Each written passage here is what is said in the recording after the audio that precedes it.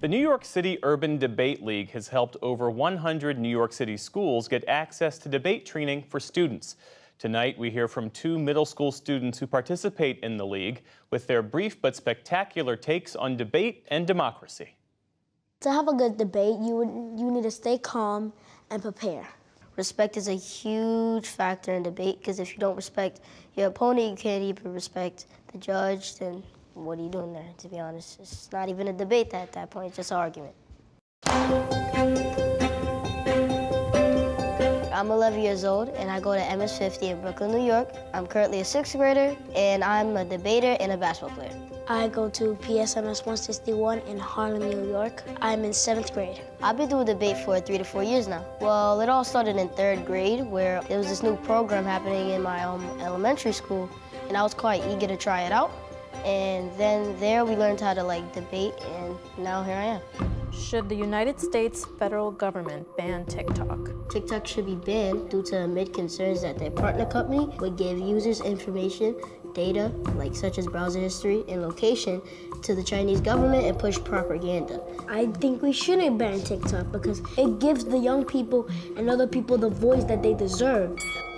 New York City Urban Debate League is just basically a league of debate where different schools and different cultures around New York City and the boroughs that come together for different tournaments. It's important to have these programs out because it promotes diversity in all communities. I love debate because I get to talk. A lot of the time I've had to switch my, how I usually perceive things. When somebody asks me a question, I try my best to answer it fully and then come at them with a question that's even harder. What's the better borough, Manhattan or Brooklyn?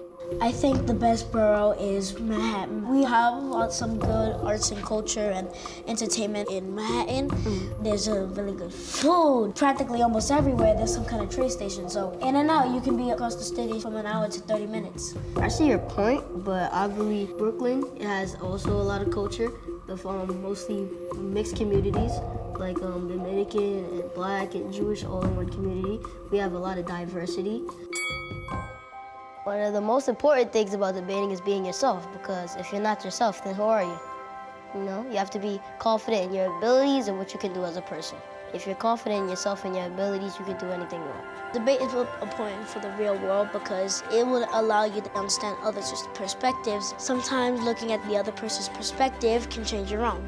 If people could understand the other perspective, then it would make it much easier to do things. To be honest, if you win or you lose, it's still winning at the end of the day because you're learning something, trying your best, being excellent in your own way, and just pushing through.